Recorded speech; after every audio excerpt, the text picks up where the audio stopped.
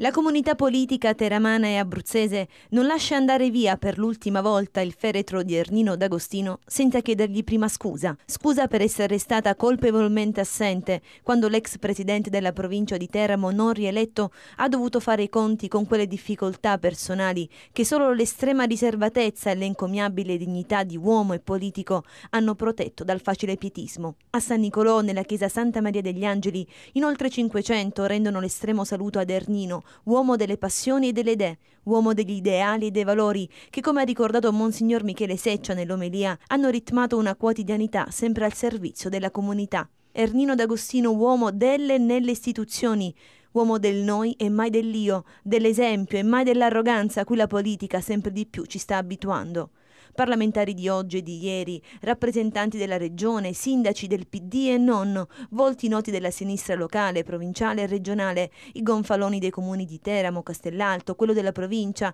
e poi loro, i compagni ed amici della CGL. A loro è andato il grazie della politica per non aver lasciato solo Ernino quando la politica distratta e inaridita lo aveva invece abbandonato. Il giorno dell'addio ad Ernino è il giorno di un dovuto mea culpa e a poco conta il grazie detto al presidente Renzo di Sabatino per aver allestito la Camera Ardente nella sala consigliare di Via Milli, perché l'unico ringraziamento va proprio ad Ernino, che ha restituito dignità alla provincia, riportandovi un fiume di cittadini che si è giustificato soltanto con l'omaggio ad una grande persona, il cui esempio non passa e non passerà mai. Nelle lacrime di figure istituzionali abituate al grande pubblico si riflette l'amarezza per non aver valorizzato uno dei politici di cui Teramo troppo presto fa a meno. Ernino D'Agostino è stato uomo di idee, di ideali, di proposte e buone pratiche, per il noi, mai per l'io. E se n'è andato senza rumore, coerente col suo stile, fino all'ultimo respiro. La politica teramana abruzzese ne sente la mancanza, ma è troppo tardi. Nell'applauso dei tanti cittadini comuni che gli hanno reso omaggio per l'ultima volta